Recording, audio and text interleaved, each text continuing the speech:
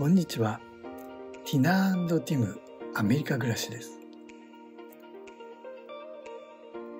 本日は血液検査に行ってきましたという話です。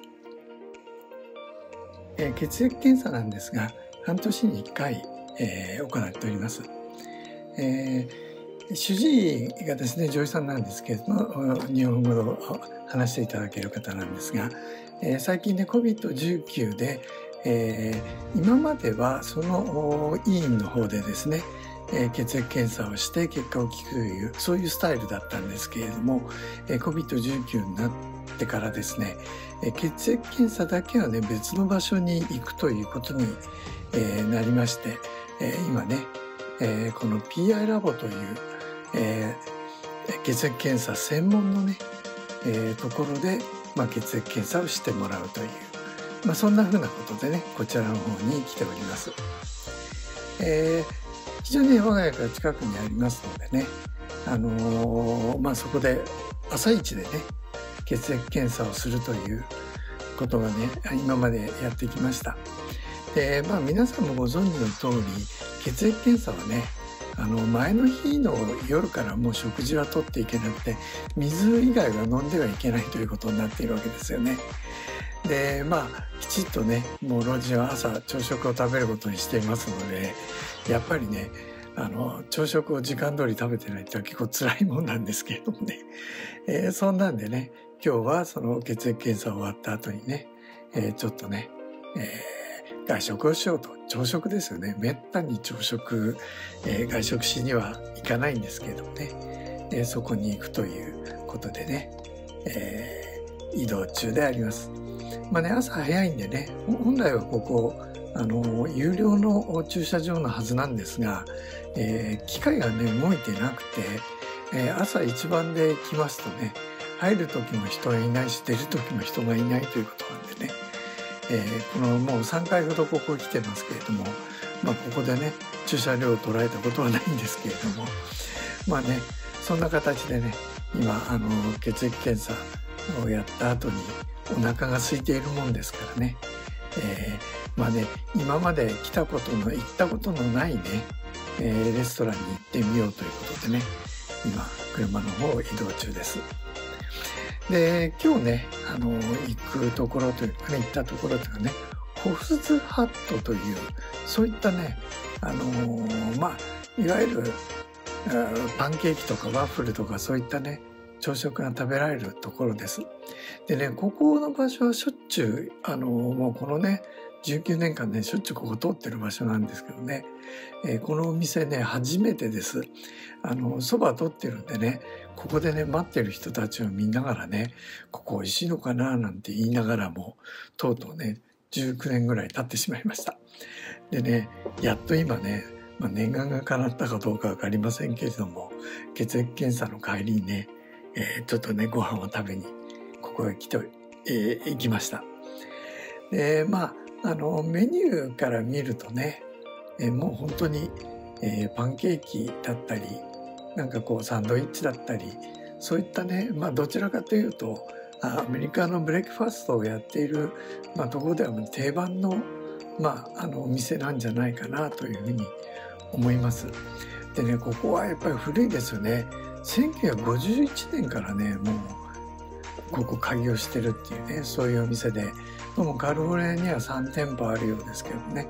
えー、たまたまね、えー、自宅近くにあるということでね、えー、こちらの方を選んでみました。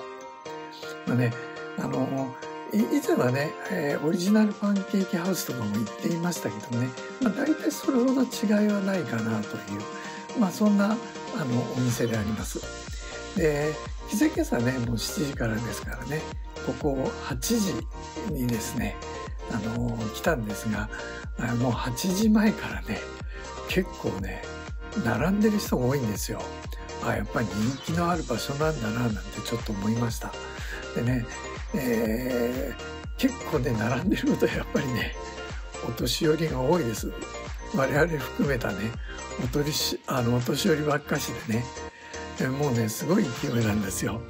でねまああ毎日ここへ来てるのかね。それはちょっとよくわからないですけれどもね結構常連さんという感じがしましたね。お店が開いたらね案内なんかね待たずにねさっさと自分の定位置とね椅子に座ってしまうとねうわーすごいなと思いましたね。私はねどこにねあの座るかわかんないんでね一応ね、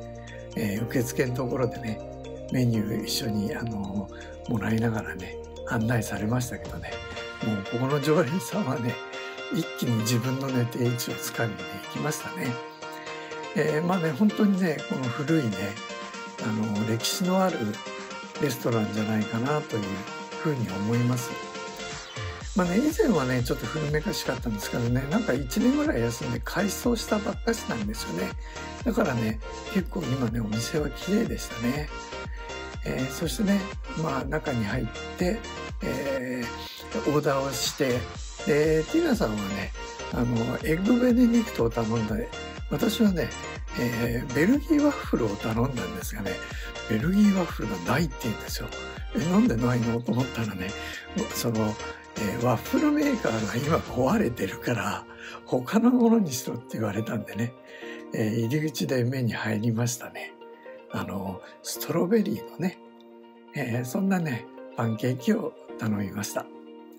えー、これがね、そうなんですけどね、わあ、彩りもすごいなという。まあ、これからね、ストロベリーは時期ですからね。えー、こちらがね、エッグベネディクトということでね。でまあ、えーと、結局ね、ハムとかね、それからあの、パテみたいなやつですね。いや、やっぱりしょっぱいですよね、これね。老人は厳しいなとは思うんですけどね、アメリカ人は平気みたいですよね。なんで平気なのかなって前ちょっと聞いたことがあるんですが、結局ね、えー、しょっぱいもの食べてもね、えらい勢いで飲み物を飲むから大丈夫みたいですね。例えばコカ・コーラ何杯も飲むとかね。えー、そんなんでね、あの、アメリカ人は結構そういうのを好んでるみたいですけど、ちょっとこれ寿命縮めるだけじゃないかなと思います。そして、食事が終わったのでね、えー、入り口のところにね、スイーツがありましたんでね、えー、どんなスイーツがある、スイーツがあるのかなって見たんですけど、うわこれも甘そうだなってね、甘いかしょっぱいかっていう感じですよね。もうね、こんなの食べてたら本当ね、あの、寿命が縮まりますよね。まあ、アメリカ政府はそれでいいんだろうですと思うんですけれどもね。まあ、とにかくね、これは毎日は食べられないしね。まあ、こういった、あの、血液検査のね、時に、たまに利用するのはね、まあいいんじゃないかな、なんて、ちょっと思いました。まあね、他にもね、ブレックファースト食べられるとこはあるんでね、またね、いろいろ、あの、次の血液検査の時はね、あの、ちょっと冒険して、いろんなね、レストランに行ってみたいかなというふうに思います。まあね、コロナも、まあ、収束してるかどうかちょっとよくわからないですけどね、えー、マスクしないで、あの、中でみんな食べられるようにだんだんなりつつありますのでね、まあ、それはそれとしてね、あの、ちょっとはね、えー、いつも家の中にこもっているよりは、こういったところで朝食を食べて、えー、ちょっとね気分を切り替えるっていうのもね非常にいいことじゃないかなというふうに思います。まあねそんなこんなの血液検査の後の朝食のお話でございました。